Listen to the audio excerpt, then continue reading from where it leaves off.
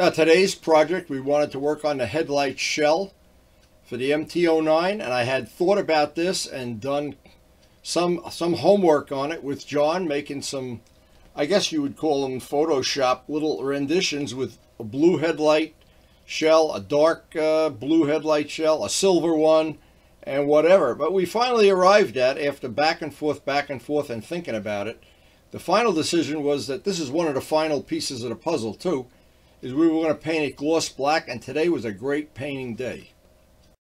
Now today I have one more little detail to take care of on the MT-09. It looks like a day I'll be able to do it time-wise.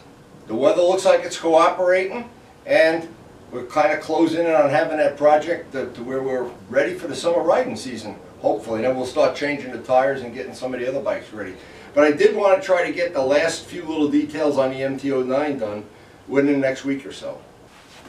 Now it's always easier for me to do this kind of work when a bike's up on a center stand and it's level, it's not laying off on its side. Now a lot of the time I spent customizing this bike, I spent on the windshield area, the basically the front end of the bike. And this area here, I have a lot of time involved in it. And today's project is I want to take this part off. There's actually two parts because it does go around the front here, it hooks on. Those two parts, I have to take the windshield off, take those two parts out and paint them gloss black. And I think the gloss black, at, I've gone back and forth. Other people have told me painted blue, painted silver. We've made Photoshop things. And just like getting rid of the bolts and the scoops, I think that's going to be another small detail. But this whole bike is nothing but small details. The only real big detail are the wheels and polishing the exhaust. Everything else is kind of one day small projects. I do like the way the mirrors worked out. A lot better than the, the ones that were flat black. That just added one more little touch that I like. I like shiny black and that's what got me motivated to get this headlight painted too. And Turbo Steve's job is over there drying an extra couple days. Dale's, I think Dale's daughter or his daughter-in-law is cutting some decals for the other two parts before we can shoot the clear on that. But, and again, a lot of gloss black parts on these bikes that were not gloss black from the factory. The helmet, the headlight helmet, this, the instruments. Every time I add something gloss black, I like the bike better. And needless to say, on a, the, the Ninja restoration, everything was flat black. I don't, I don't think there was 10 painted parts on this whole bike when we did it. And it's a whole different bike now. And you can really see your reflection in that black paint. But the first step, feed the barnyard animals, have an extra cup of coffee, see what Karen's got cooking, and then we'll come back and pull that part off. Fish, are anybody hungry today? Are you guys not hungry? had pizza last night? It's hard to believe they don't look that hungry this morning. Hard to believe. I'm always hungry. Now, anytime I work on a bike, I want it to be clean. I don't want to work on something all full of dust and grease and whatever. Taking a windshield off, easy peasy. We've done this so many times in the course of making those brackets. I can kind of do this in my sleep. Now, as I take each one apart, I cleaned each part, made sure I put the bolts with the part because a lot of these bolts are very similar but not exactly the same. I wanted to have all the bolts go right back in the same spot. And one of the bolts, in fact, on this has a shim underneath it. And little by little by little, it's brought back a lot of good memories of making these brackets. All of it is on previous videos. And it was a very subtle change to the motorcycle to make these brackets because, well, the stock brackets had the windshield just facing up a little bit more than I wanted to. And these brackets, even though they took a long time, they're very adjustable and I can get the windshield to lay back the way I want it, so aesthetically it's pleasing to me. That was all worthwhile. That was time well spent. Now, I wanted to, and there's six screws that hold this assembly on. There's one tricky part of this if you're not aware of it, and you start pulling up on that middle part. The middle part is in two bushings. You've got to get all the screws out, and some of these screws are really in there.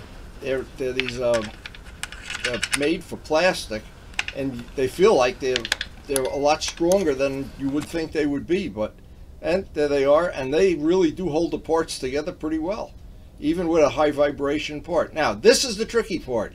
You got to pull this up just enough to release the wire that's attached to the back. I try to take some still pictures, but you can't really see it here as well as I would have liked.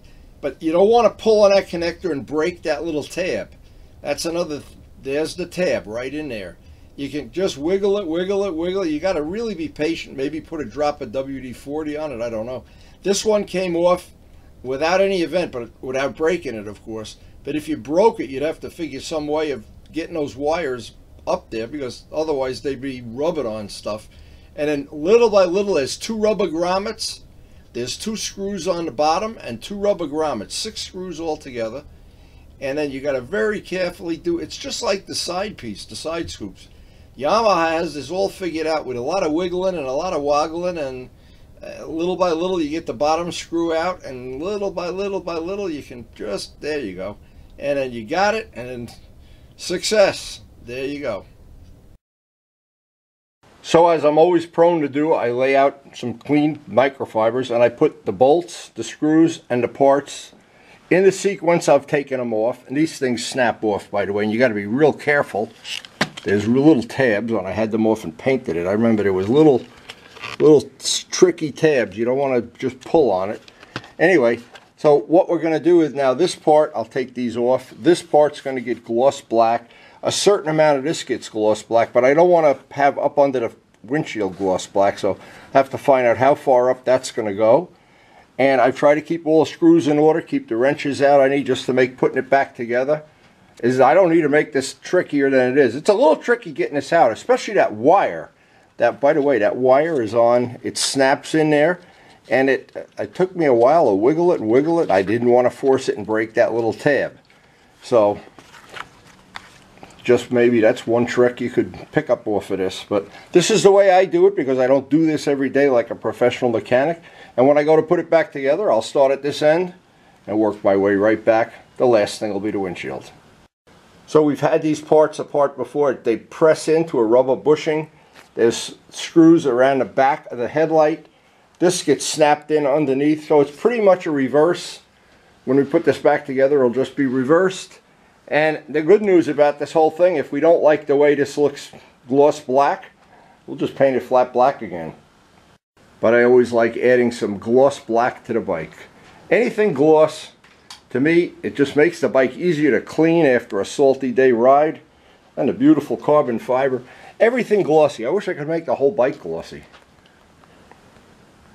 And one of my goals of the videos always is when you're doing even a simple job like this is simple, relatively simple anyway. You don't need any special tools, but you do always have there's always some little thing that you that you didn't see that coming or something. And and this was the biggest surprise of all, how difficult that was to get out. So maybe what I'll do is I'll put a little wheel bearing grease or something on that in case I have to take this apart again. But right now, it's time to head down and start getting these parts prepped up for paint. It's a beautiful painting day. A job this complicated calls for some extra coffee. It'll always make the job go a little better. So I'll probably hear from Turbo Steve how the decals are coming out or what he, what his schedule is. We can finish this up. He can get that back in uh, back on the road again. So as I tried to show, taking these parts off the bike can be tricky. In fact, I wanted to show this. There's a little detent here. You have to be careful. Uh, let me show it. You have to press this up don't just pull it out. You have to press that up. And that when that goes back in, and this is the kind of things it's nice to know so you don't break the tabs, that snaps in. Then there's a rubber bushing up the top. Kind of nice the way it works out, to be honest. But anyway, first thing on this, as always. Now, a lot of, as we discussed on uh, question and answer a couple days ago, there's a lot of ways to prime and prepare parts, Bulldog, all kind of systems. I like to use the old-fashioned system. This is the real old school thing. Primer sealer and clean apart good, sand it with 400. Kind of old school. And I've just had, it's the devil I know. Now, a couple of times, because this, these parts for sure have plenty of road grime on them and wax and whatever. So I want to make sure step one is I get as much of this clean as I can and then rinse it over in the slop sink and get these parts as clean as I possibly can before I start sanding. I don't want any wax or grit or anything on there I can get off. The simple green works good. Crud cutter works good. we're going to try to get a nice really nice shiny coat of gloss black on that. And I hope that's what I like. But again, the nice thing about this, if I don't, it's a half hour or so to take the parts off, paint them with flat black paint. God forbid, paint something with flat black paint. Now we really want to sand this with 400. Yeah, we got a piece here. And this is Mirka. This is real good quality 400 sandpaper. That'll be great for etching the plastic and we'll get some self some self sealing self sealing. It's sealing primer on there. Not sealing like the sealing, it's seal like and not the seal with the ball on the nose either. So I'm going to have to just be real careful, get all the edges radiused, all the corners nice and round, get a nice etch on everything so that the primer, primer sealer, I love that, the primer sealer with the ball on the nose. Anyway, we will get this primed. And that other part, I have to determine exactly how much of that you see. I don't want to make it that it ends at a, an awkward spot. I'll have to think about that. That's why I'm doing this part first. Very important, get all the edges radiused. Now, I, I thought about this for a long time because I, we had originally, John even made a concept of this in silver. He made one with this in uh, blue. And I, I really couldn't decide. But there's something about gloss black. When I put those mirrors on the bike, I kind of thought, well, everything I put on, it's gloss black. I never go back and paint it flat. Maybe this will be the first thing. I don't know. But and by the way, a lot of people don't even know the MT-09 has these little lights underneath the headlights, like running lights, I guess they are. Kind of a nicely made front. That front end of the bike is a nicely engineered thing. It all comes off with just a few bolts if you ever have to service it. So, anyway, we're going to just finish this up sanded, get it all sanded, and take advantage of the fact this day looks like it's going to be a great day. We should get the clear done today have this dry overnight. Tomorrow buff it out and put it back on and we'll be back on the road again. Now getting it sanded out with the 400, time consuming. I wanted to make sure every little edge and angle was taken care of. Because if you leave sharp edges and you paint, especially if you put a lot of clear, this part will have a lot of clear when I'm done with it. That's where the paint tends to crack or chip from a little stone chip or something. So just trying to stack the deck in my favor, get it perfectly clean before we prime it, and make sure there are no little defects in the way the part was molded. It looked pretty good, so I was ready. Now before I prime this, I'll wipe it all down with some M600 degreaser. Get out our primer sealer. It is a plastic part, so uh, primer sealer is my first choice on priming. Let's hope we can find a can that doesn't spit among our collection of bad cans there. We're going to use that up somehow.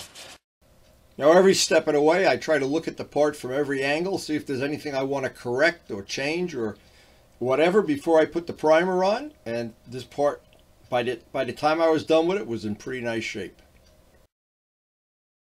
And we're going to hope we get a good spray out from this can. We've got one left. Then we're going to have to get some more of it. This is, the main thing is that it's sealer. sealer. You want to seal that plastic from the thinner that's in the paint. And the objective is to get a thin coat of primer coverage, but not to put any more primer on than we don't have to. I don't want to use the primer for filler. The, prim the primer is only there to glue the paint to the plastic. Okay, our friend the turbo snail is going to make sure this dries up. No birds poop on it or anything. Now for this part, it's just a wild guess. I've kind of estimated, you see up to about here. I'm going to paint a little extra just in case, in case you do get to look in through the front. You don't want to see where that joint is. And we'll get this same thing as the other part. We have two parts to paint. The weather is absolutely perfect for this kind of painting. And we should have really good luck this afternoon with this. And just like the other part, most important thing, get a good etch on the part and make sure every razor sharp edge, whether it's from the mold or the way the part is designed, no really razor sharp edges where the paint would tend to have a problem. Now I took a guess at where the backmasking had to go, making sure I, I covered all my bases. It'll be way up under the windshield. I guess only the mice crawling around on the floor in the garage will see the joint, but I don't think it'll matter either way. It's, it's going to be fine. And these two parts we took advantage of such a beautiful day for painting. And we're wiping it down with the degreaser M600. I just was just loving the fact that we had a day that the wind wasn't 100 miles an hour and there was a big chance of rain or anything. Actually, this would have been a, just a beautiful day to work in a garden or something, but the way it played out, I wanted to get this done. I wanted to try to wrap up these last few details here. I had some black already mixed. I don't remember what I was painting black. Oh, Turbo Steve's parts. And here we are, got the headlight, uh, the shell, and very thin. If you notice how many coats, you think that's 100 coats of paint? It's thin. It's like an airbrush. You almost don't see anything coming out of the gun. Well, that's, I want that paint to lay down and lay down as flat as possible. And in the final analysis, getting that paint on in thin coats, that's one of, one of the things you can stack the deck in your favor. You're not going to have a run because it dries just a little bit in between those coats. And it's going to need another coat, but even that just just look beautiful. And I like to look at it again from every possible angle. Look at it from the front, from the back, from the side. You can see my reflection in that. Didn't even see that before. Here's the part in prime. We got that all set to go. And the back masking done. I'm looking for any little flaws, any little thing that's going to be a problem when I when I do paint it.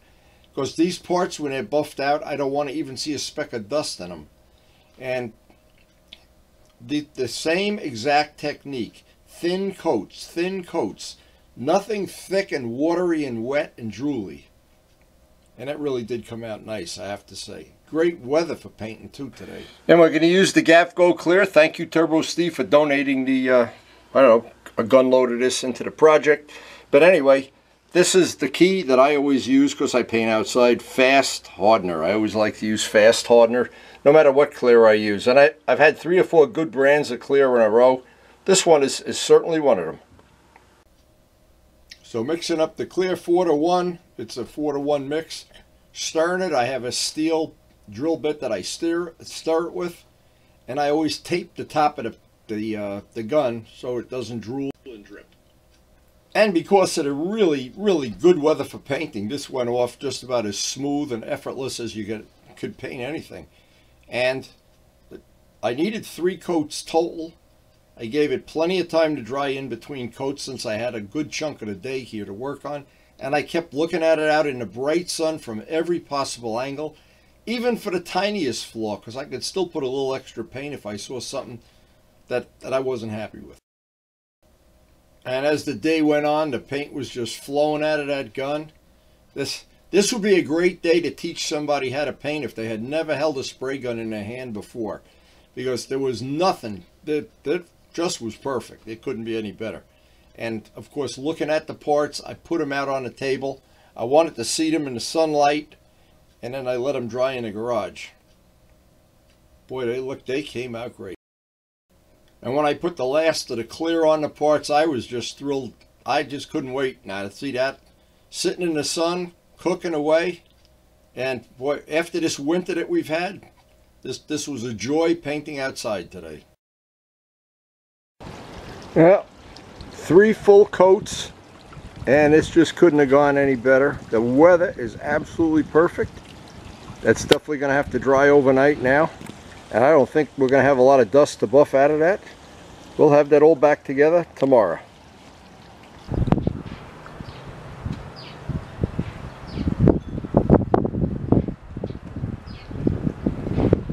Well, this day ended on a really positive note, and it looks like this paint is going to dry up beautifully. Just, just a wonderful day for painting. Karen has some errands for me to do here, so I was very happy to get this done. I have the rest of the day to take care of the farm, and tomorrow this will be dry. Buff that'll buff out in 10 minutes. Beautiful. And we will be ready to snap it all back together again. So I hope I put, I hope I didn't leave out any steps here. Working on this front end is a little tricky. And believe it or not, if I had the manual, it would help, but guess what? I don't have the manual. I got to figure out how to download that uh, that thing off the internet. That John already has the the link, I think, too.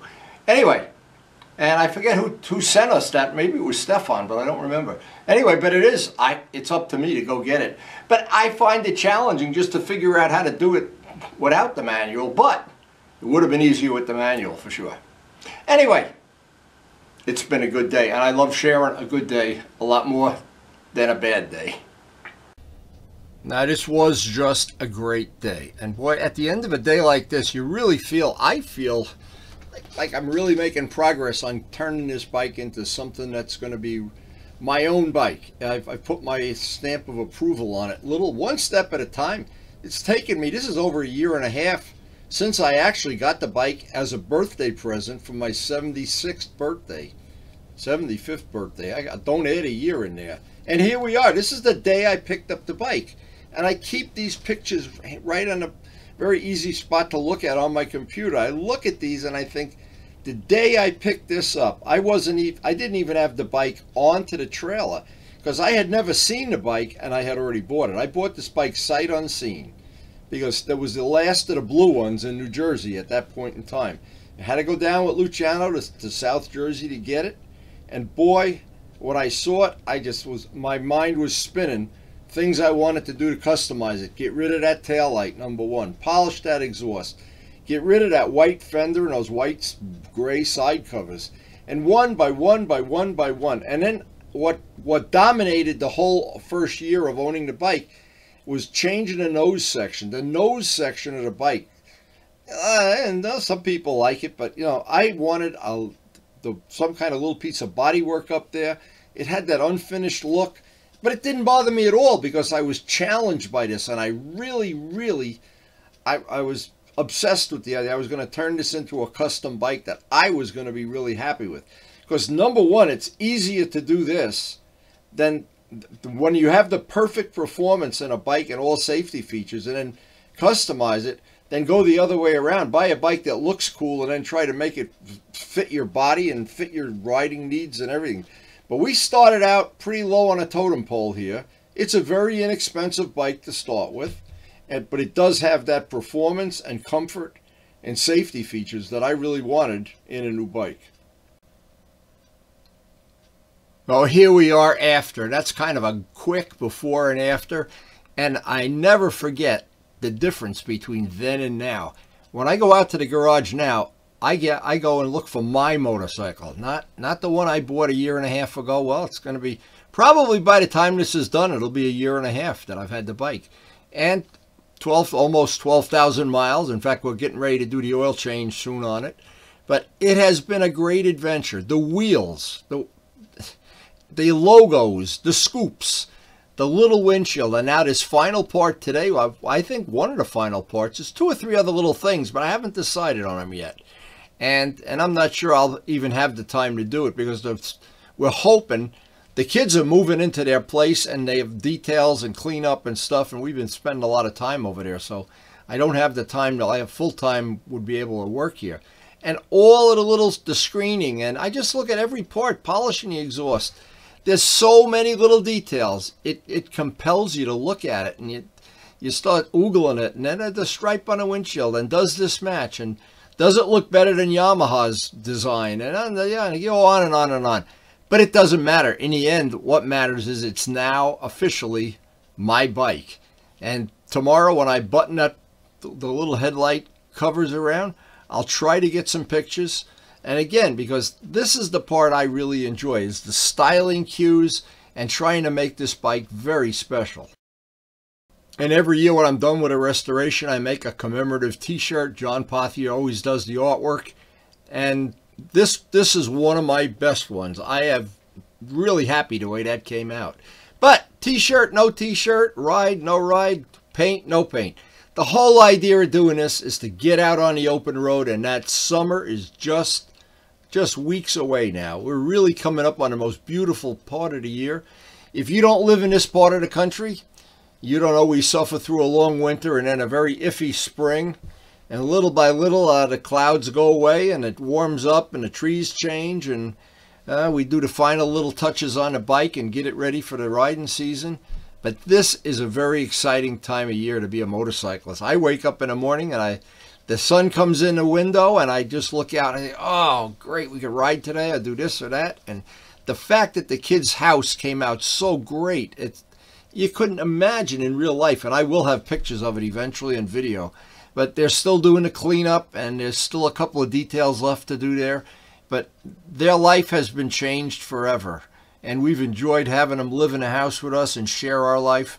But the the main thing is, it's this time of year. What I'm trying to get across is we're looking at maybe six months of enjoyable riding season now, where almost every day we'll be out on a bike, different bikes every day, different friends to ride with, different rides. It couldn't be a better life. I I just I, I'm beside myself sometimes. I enjoy shooting a video. I enjoy editing it. I enjoy sharing it with you. And I hope we'll see you tomorrow.